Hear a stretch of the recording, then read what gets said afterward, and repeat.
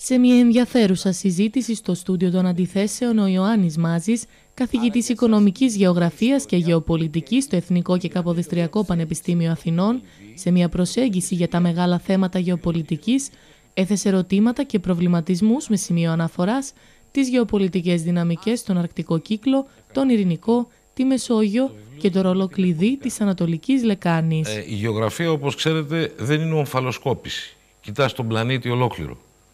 Και μέσα στην ε, ολότητα του πλανήτη προσπαθείς να δεις τι κάνει το σύμπλοκο, το γεωπολιτικό που σε ενδιαφέρει. Και το γεωπολιτικό σύμπλοκο που με διέφερε ήταν η Ανατολική Μεσόγειος, Ελλάδα, Τουρκία, Κύπρος. Ξεχωριστή αναφορά γίνεται επίσης στο ζήτημα της εθνικής στρατηγικής, αλλά και στη δομική σημασία της συγκρότησης Συμβουλίου Εθνικής Ασφάλειας. Γιατί αν δουλέψει ποτέ ένα τέτοιο σώμα, ναι.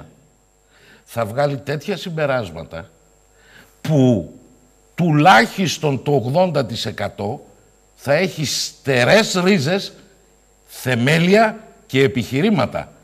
Όταν όμως έρθει ένα τηλεγράφημα από μία μου πρεσβεία ή από δύο πρεσβείες ή από τρεις πρεσβείες που λέει το αντίθετον με αυτά τα οποία προκύπτουν από τα συμπεράσματα της λειτουργίας της ομαλής του Συμβουλίου Εθνικής Ασφαλείας, τότε πώς θα το ανατρέψει η πολιτική τάξης. Με παρέμβασή του, ο πρώην πρόεδρος της Ελληνικής Δημοκρατίας Προκόπιος Παυλόπουλος έκανε εκτεταμένη συζήτηση γύρω από τη Συμφωνία των Πρεσπών με αναφορές στο διεθνές δίκαιο και στις διεθνείς συμβάσεις. Το ΝΑΤΟ πρέπει να καταλάβει καλά ότι δεν είναι δυνατόν να ανέχεται στους κόλπους των σμπέλο ένα κράτος το οποίο μπήκε στην πραγματικότητα εξαπατώντας τα υπόλοιπα. Μισό λεπτό. Αυτό όμω.